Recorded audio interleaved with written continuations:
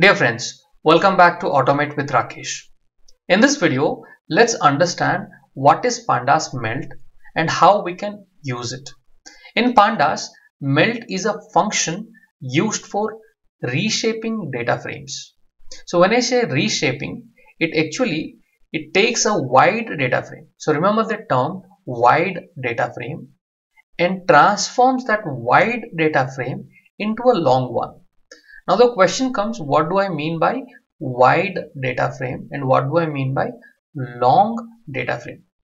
Now it makes it easier to work with data and analyze the data in a proper way. Now these are the two keywords when the term comes melt. Remember it will transform the wide data frame to a long one. I'm going to show you practically. So let me first print this data frame. So if you see I used a term called wide data frame. Wide means you see here we have the names of the students and there are different subjects math, physics, chemistry, biology, history. So this is a wide I means there are multiple number of columns here. Now can I transform this one to a smaller or a longer data frame? So this is wide. If you see this is quite wide, right? There are multiple columns. Now can I make it to some three columns or something like that and show it in a longer way? So that is where we'll be using this melt. We are going to melt the data frame.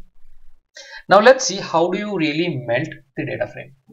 Now first of all, you remember as on a long run, you will be dependent on this kind of documentation because it is highly possible one may not recall the exact parameters to be used while going for a melt. So you first open the documentation. So this is your documentation in front of you. Well, now let me show you with examples. Let me create a data frame called melted data frame. You can give any name you want. I'm giving melted data frame is equals to now as per the syntaxes we will go so it uses pandas.melt so same thing you will write pd pd is my alias that I've created. So here I'm saying pd dot melt simple and then. Next you are passing the data frame. Look at the documentation. Is it saying frame? So you are passing the data frame. Then you are putting a comma. Now the next important one is your id vars what is id vars i'll explain you. First of all let us write id underscore vars is equals to now look at it while you are transforming or melting this wide data frame to a longer data frame you would like to keep some of the columns intact. You don't want to touch them. So that is the id vars. So what this id vars do if you look at the definitions columns to use as identifier variable or you don't like to really touch them or modify them. Okay that is the meaning. Now here i would like to keep uh, the name as my you see I'm passing name. So name as my because it is a single element you don't have to use a square bracket simply write. If there are multiple elements multiple columns where you don't want to touch them that's where you pass it here. You want to keep it secure. Id variables you want to keep it secure. Is it clear? Now let's say I'm going to run this okay? Before I run let me simply print this melted underscore data frame now if I'm going to print it, now look at what happened. This wide data frame has now been transferred into a longer data frame. If you see how many columns we had 1, 2, 3, 4, 5, 6. Now how many we have? 3. So the name column because I passed here it did not touch it. It has remained intact. Rest of it has been transformed. Now you see all the subjects has been kept like this and the values for those subject for each student has been kept like this. Okay?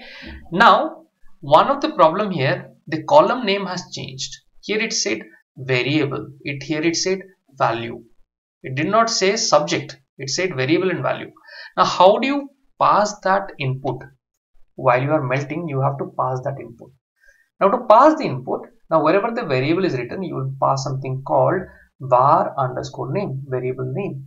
So let me first pass it for example comma here it is saying variable right? So simply say variable underscore name is equals to and I want to give a name called subject. If you run this if you see this will get going to get transformed it becomes subject. Same thing you want to change the value? Okay no problem. So there is a val value underscore name okay? Value underscore name. So all these parameters you can always refer in the documentation value underscore name. And here instead of value I want to say it as score. So now you will see the value will you are giving a name to this column okay that's all. If you run it it, uh, it has got a name called score. So that is the simple example of how do you use the melt function in pandas.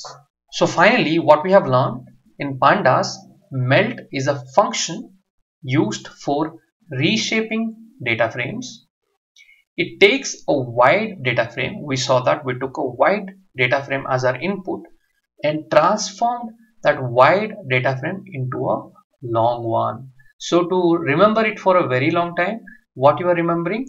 Melting something which is wide into a longer one. So you can imagine iron which is a wider one you are melting it and is dropping falling down. So it is becoming so like that you can imagine and remember these terms for a very very long time.